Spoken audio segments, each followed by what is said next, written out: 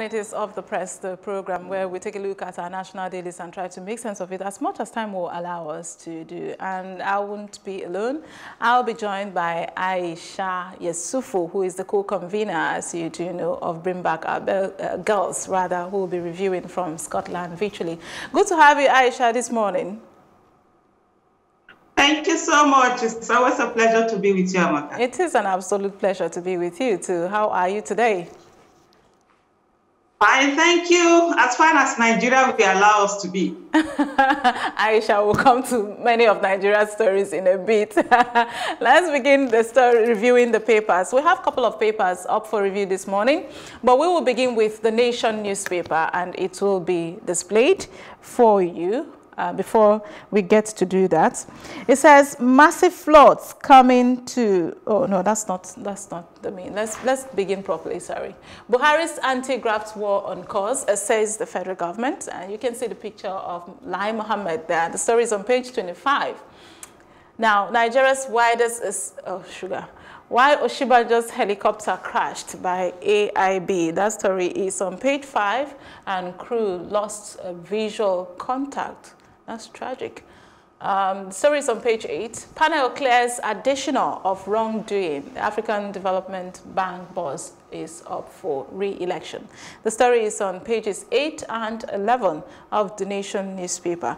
Massive flooding coming to Lagos and others agency ones. Ogun, Kwara, Ekiti Rivers also to be affected. At least they're telling us now in good time. I hope we prepare for this. The story is on the front page, but it's continued inside the newspaper. I believe it's page 8 there. Only senior secondary school three uh, students to resume in Lagos and in Ogun State. And that's for the WAEC exam to be able to sit for the exam. The story is on the front page. Again, it's continued inside the paper. CRR, uh, CBN holds 900 billion naira customers deposit with banks. That's also on the front page. And we have Lagos FCT Osun issue guidelines on Eid Kabir uh, prayers. Uh, Melaye loses at appeal on page 5. And we have a picture story there. I believe that is the um, construction of the third mainland, the partial closure. Uh, we can see, yes, the Honorable Minister uh, was there yesterday, Babatunde Fashola. And then um, there's something, uh, don't, I'm afraid I can't see what is there. Don't uh, link Okumbo with the Zionist case. Um, Ondo Council poll 22, uh, for August the 22nd, and lawyers vote NBA ESCO. These and others you can find inside the newspaper. Let me now hand over to Aisha Yesufu to begin. Aisha. Uh, thank you so much, uh, Amaka. Just yeah. looking at all the headlines here, there are quite a number of things. But for me, I think I'll just take on the flood. I mean, telling us that massive flood is coming to Lagos is mm. not really news. The news should be telling us what the government is doing to prevent this massive flood. This is something that we've had year in, year out, the flooding in Lagos. I mean, with the global warming in the world and climate change and all of that then it's something that nations are getting prepared. But then in Nigeria, we have very selfish leaders who have refused to allow us have sophisticated problems. We are still fighting just the mundane problems that we have. So we've not had time to focus on issue of climate change. But mm. for me, that is not the issue. What the government is doing uh, should be the issue. Uh, actually, before you move on, before before you move yeah. on to yeah, before you move on to your next uh, line of thoughts, there, I completely agree with uh, the issue that you've just raised. Uh, what next? Yes, we're going to have these floods. What next? Because I, I wish we can lay hands on our clips. You'll be so shocked Every time it rains, just a little drop of it, everywhere is flooded. And business is affected, life, livelihoods, you know, affected, and we don't seem to get a solution. I just wanted to add that, yes, that's very crucial, and it's important that we begin to look into the direction of what's the solution for this problem that has always been with us. So please do continue with your thoughts there. Uh, thank you so much, uh, Amaka. The next thing that I'm, I'm, looking at is on the issue of panel clears Adesina of wrongdoing uh, which is it's, it's, a welcome news because uh, it was quite distasteful, all the accusations that were levied against him uh, you know, in terms of nepotism and a whole lot of uh, allegation. But it, it's quite uh, uh, good news that he has been he has been cleared of uh, of any wrongdoing. Mm-hmm. And then on the issue of Osinbajo's crash, uh, the helicopter. I think that was that happened in 2019. I think normally when there's always a crash, there's going to be investigation to find what happened. And the most important thing I think which we should take away from there is ensuring that we prevent such accidents uh, happening again. The essence of an accident is actually to learn. You learn from it. We just just stay and then you allow it to keep on uh, repeating itself the way that we've seen. Uh, the other issue of uh, Buhari's anti-graft war on course says federal government. The only there's no anti-graft war. There's only massive corruption in Buhari's government. And, and it's really sad if we're just seeing what we are seeing right now is the tip of the iceberg. It's the same thing we had during uh, Jonathan as, uh, Jonathan's administration when citizens were crying out about all the corruption and there were numerous investigation and all of that by the uh, House of uh, uh, National Assembly, but nothing really came out of it. It's still the same thing. There's massive, massive corruption in this administration. It's really sad that the president who came on the on the with the, on the mantra of fighting corruption is actually the one who is giving room for corruption to thrive and not only giving room but actually rewarding people who have been found uh, to, to, to have been uh, to have behaved uh, corruptly. Mm -hmm. I mean, I just want to ask you, I don't know, what's your thoughts on this? Because this conversation, we had a bit of it in the news uh, this morning. And, um, you know, the PDP asking that the president should re resign because of all the, the issues that has to do with uh, corruption that we've seen, especially with the Niger Delta uh, Commission, all the development there. And I'm wondering, um, is, is, that going to solve our problem? Is, is it a question of the leader resigns, uh, which would, we know, I don't know, whether he's going to do, well, Uche Secondus, they, have come to say, Lai Mohammed has come to say that, that that's irrelevant, we shouldn't be thinking in that line. But my question is, why do we wait until we can't handle it anymore before we begin to speak truth to power? Why do we not recognize at the early stages of the issues that we have as a nation and begin to ask, you know, questions and begin to ask that our leadership, uh, you know, show us a level of accountability? Uh, the thing is not that people don't ask. Uh, we do we do make demands, even as citizens. Uh, we, we do ask. But the fact is that nothing ever gets done because they can get away with it. The biggest problem we have is the fact that people can afford not to do anything and they, they are rewarded for their bad behavior. In as much as PDP does not have the moral justification to ask for resignation because they were absolutely as corrupt as corruption can be. And uh, today, uh, sadly, we are still in the same shoe or even, even worse.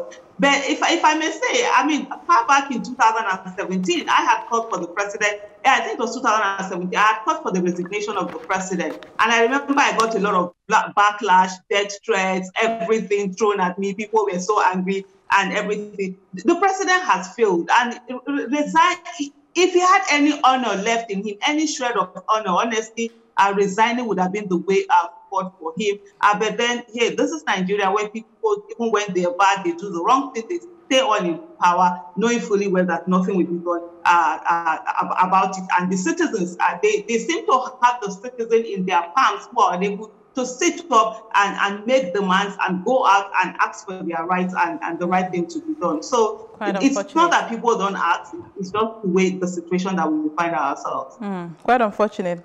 All right. May I say that you continue with your thoughts on the other headlines there?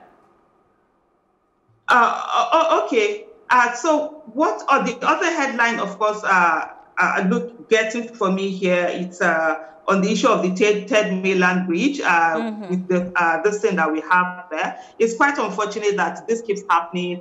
I mean, beyond Third Mainland Bridge, what other bridges are we building? What other ways are there? And then this whole closure, the, the state was closed down for, for months, yet this, this wasn't put into place. And then people have to, when people were at home, what was the best time to have done all of this, to have actually done a good part of the work. And it's really sad that we just keep getting ourselves here. And then there, of course, we have the Edo 2020 election. It's always there. It's always on the news. Oshiomhole is saying to PDP, don't focus on things I said in the past.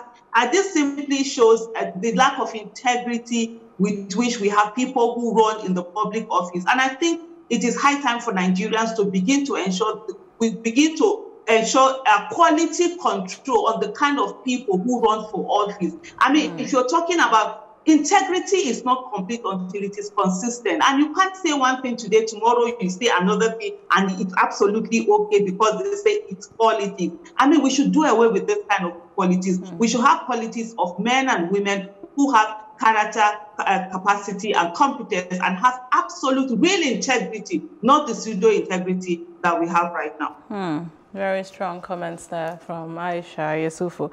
All right, I, um, in the interest of time, um, I want us to quickly move to another paper. I, I do know that you don't mind.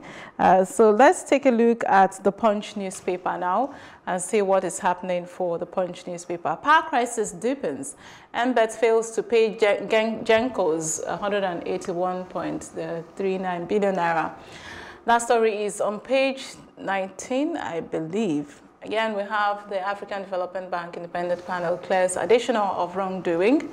Uh, reps summon Emefiele and the PenCom boss, others, over 300 billion naira funds on page 27.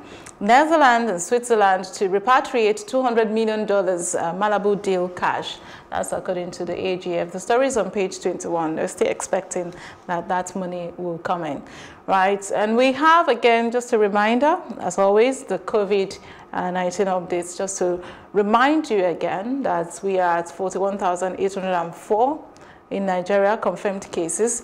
Thankfully, 18,000 plus have been uh, discharged, recovered, and reunited with their families, whereas 868 people have died as a result of COVID-19 here in Nigeria. Just a quick uh, update on that.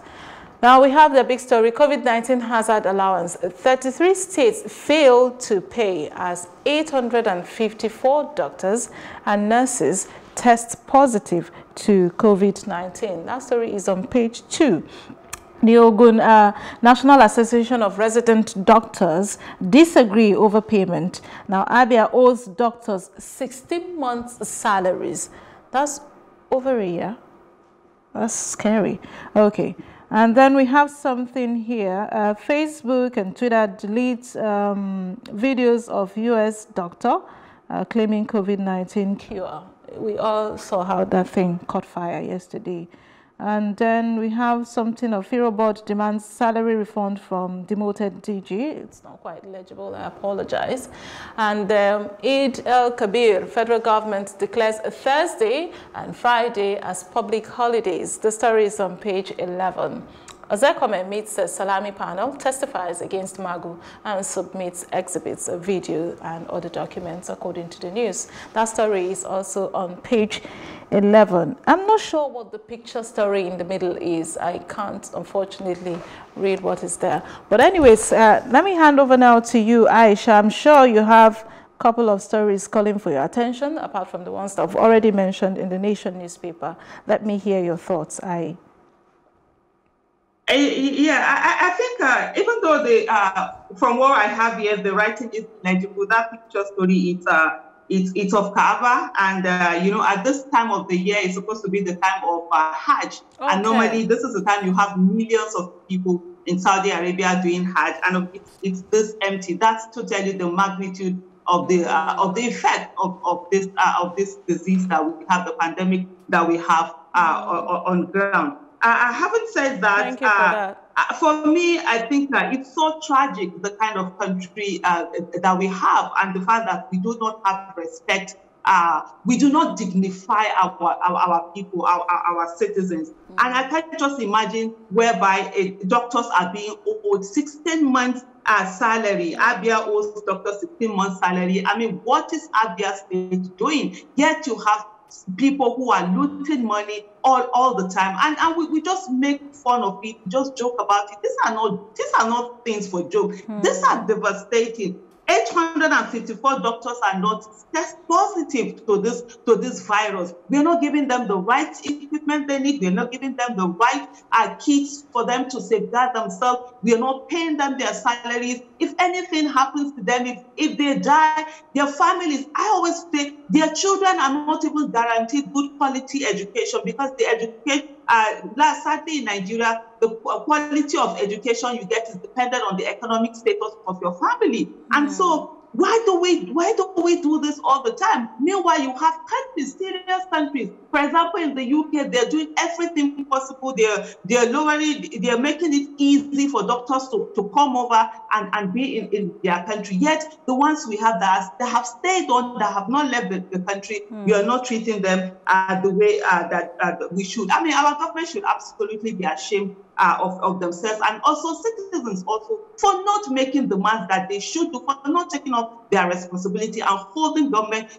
to account and making demands. Ordinarily, half of the things that we are reading here on our on our headlines are things that in other countries people jump out uh, on the street. Mm. Having said that, I mean, yeah, Aisha, before before you before you proceed. Netherlands, yeah, before you, yeah, before you proceed there, I, I mean, I, I'm, I'm just wondering to myself, you know, why sometimes when people go to hospitals and they say, oh, they are not being treated well by doctors, nurses, and all of that. And if we push forward, I just want to push forward um, this conversation of owing doctors what is due them and, you know, those in medical practice. I mean, anybody. Um, isn't this also, how do we expect these people, quite honestly and frankly, to, to be functional, you know, to be able to attend to the sick person when we've not taken care of their financial needs? I'm just sitting down here and I'm wondering, who's, who's concerned about their mental state? We, we had that conversation again about teachers whose salaries are being owed. Who's concerned about their psychological state of mind? I mean, a, a, a, a hungry man is an angry man. If you've not paid a doctor or nurse what is due them and want them to deliver, how, how does that add up really? Like you said, why are we having this conversation all the time? We have so many questions, it seems, but very few answers, and it's unfortunate.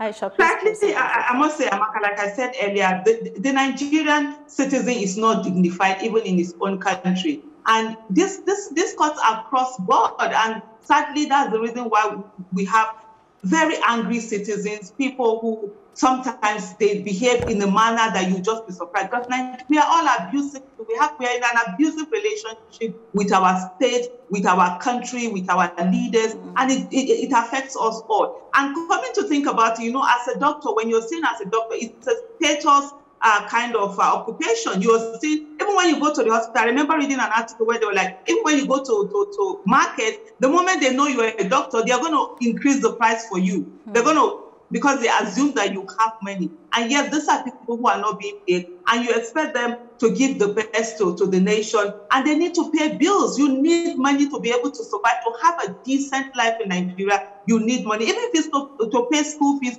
of your children and all of that. So it's really quite hard. But you see, for me, the biggest problem that I have is that these are professional bodies, and a good number of them. These are people that can come out and shut down our nation and say to our leaders, enough is enough. But because everybody is doing their own bit, even the doctors, they have their own private clinics. The reason why they can stay and not be paid and still be there is because they have private clinics where all they are operate, they work in while working in government, they work in private clinics where they send people to and then they are able to make their own living, they, they are comfortable, they feel they do not need to make the money.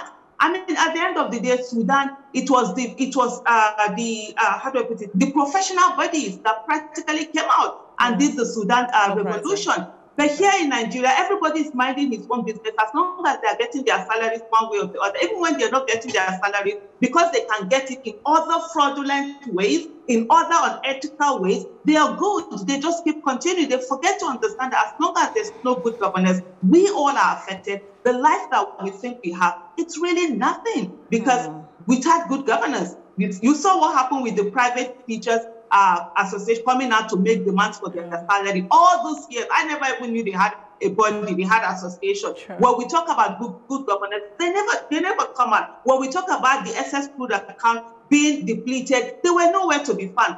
But then, hey, COVID 19 happened and they don't have money. And in other countries where they have reserves, government is taking care of the citizens. But here, we don't have. Instead, government is taxing and taxing and taxing the people more and more. more it's really sadly. quite sad. Yeah. We'll move on in the interest of time. All right. Let's, you were saying something oh, on Netherlands. On, Amaka, before we move on, there's a very get one here about the Netherlands, Switzerland to repatriate $200 million Malabu deal cash. Unfortunately, what we've seen over time is that this money are brought in and they are reluted by the ones that we have right now. And it's really, it's really quite sad. We need to begin to track this money. We need to begin to make demands from government. The way people, people will, people will send you text 3 a.m., 2 a.m. asking for money. They will call you five times. They will call you. Why are we not holding government that is responsible for taking care of the citizen? Why are we not holding them to account uh, in the same way? Mm. It's sad. It is sad. Thank you very much. I, uh, let's also take a look at uh, another paper before we round up for today. Time is really running as fast as we can't even hold, uh, hold it. We have Nigerian Tribune here up for review very quickly. Uh, it will be put up, but before they do that, okay. Um, it says, I will just leave off the ones that we have talked about. So ex-pension boss Maina released from Kuje prison. That story is on page 30. And court issues warrant of arrest against S-NAS clerk Omolori on page 6, I believe, of the Nigerian Tribune. And Ondo, uh, Akeredolu picks Aiyedatiwa as running mate on page 6 as well. While Osinbajo helicopter crash, we've talked about that. And defection, Dogara betrayed my trust, according to Bauchi governor on page 4. All right. We have reps uncover clauses uh, ceding Nigeria's sovereignty to China and probe implementation of uh, $849 million uh, rail project. China may not sign $5.3 billion Ibadan Kano rail loan if probe continues. Uh, the Honorable Minister of Transportation, Rotimi Amaechi, is giving that warning. Explosion in Lagos, uh, two killed and vehicle shops destroyed. That is in Ajao Estate late uh, last night. Actually, unfortunately, we have picture stories to that. Unending debate over hydroxychloroquine as medical doctors debunk US-based doctors' claim. On Facebook and Twitter, YouTube pull down video. No specific cure yet. NCDC insists. All right, Aye, let's take two stories uh, and see what we can do uh, with our time yes, uh, grabs uncover clauses ceding Nigeria's sovereignty to China. I mean, it's this chi Chinese debt that we loans that we keep the loans we keep collecting from China. It, it's unbelievable. We've seen what has happened uh, to other countries where they have had to, where China have had to take over some, you know, national assets in in, in other countries, and we're collecting this money anyhow. There's shadiness in in the whole of it. it there's there, it's opaque the the China isn't coming forth to, you know, it's not transparent. The countries that are borrowing are also not transparent. And, and it's really sad. For me, what I find most disheartening and very annoying is the fact that where the the, the Minister uh, of uh, Transportation, Transportation. Uh, Rotimi is talking about the fact that China might not sign the other agreement. Let them not sign. Do we even need this money? This money, we are collecting it. We are not, are we using, we're not even using it judiciously. People are looting it. Let me just read out exactly that uh, part of that agreement. According to uh, the agreement says, the borrower hereby irrevocably waives any immunity on the grounds of sovereign or otherwise for itself or its property in connection with any arbitration pr proceeding pursuant to Article 8, uh, subsection 5 thereof with the enforcement of any arbitral award pursuant thereto, except for the military assets and diplomatic assets. I mean, it, it's really worrisome, all of these agreements. And, and this is what comes from when you have people in place who, who, who don't think of the long run, who are not intelligent enough to think what what if what what is the repercussion of this thing we are signing what, what, and and dot their eyes and cross their teeth and check all the what if so they're all all they're interested in to get this money and as much as possible award contracts to themselves and then get part share out of it. They don't care about the effect it's going to have on nigeria. 50 years from now 20 years from now the unborn generation that we are borrowing this money mm. use it for them to pay. We are not thinking about them. And, and, and for me, it, it's really uh, a, a, very sad one. Mm. Indeed, there's no free money anywhere, essentially. Mm -hmm. -hmm. All right. Absolutely. There's no free in the world. I mean, we have to pay. And China, it's, you know how they, I mean, they, they are something else. It, it, and it, we've seen other countries that have had to pay the price, but yet we are not learning. All our our officials, our government is interested in is to borrow, borrow, and borrow more money. And in the last few years, over, uh, I mean, China has practically been like, how do I put it? Uh, the one that has been carrying us along because that's what we've been borrowing for. We've been borrowing even money, borrowing money to service debt. Yet we have not reduced the cost of governance in Nigeria. Yet we are still paying our politicians humongous amount of money. Yet we are still wasting money. Yet money is being looted. meanwhile, we are actually borrowing money to service the debt. We are borrowing money to pay the interest on the money we had borrowed. And Nigerians are going about their business businesses. We are blaming everybody. We are blaming principalities and powers. We are blaming village people. We are blaming enemies. we are not blaming ourselves. we are the problem. And that's what we should focus on. Our government is leading us down the road, and we are just uh, following them right into that all right, before we start blaming uh, principalities and powers, let's wrap it. Thank you so very much, Aisha Yesufu, for your contributions as always. And do keep safe out there, Ai. Thank you so much, Amaka. Just like you know, Nigerians, we abdicate our responsibility to God. We fight for God. We leave our fight to God. Instead of us to fight for good governance, we rather blame village people mm. and enemies. Let's it's unfortunate. Fight. It is. Thank you so very much. And that's how we're going to wrap it for Off the Press. Remember, the time is 8.30 a.m. here on Plus TV Africa, Monday to Friday. I am Amaka Okui.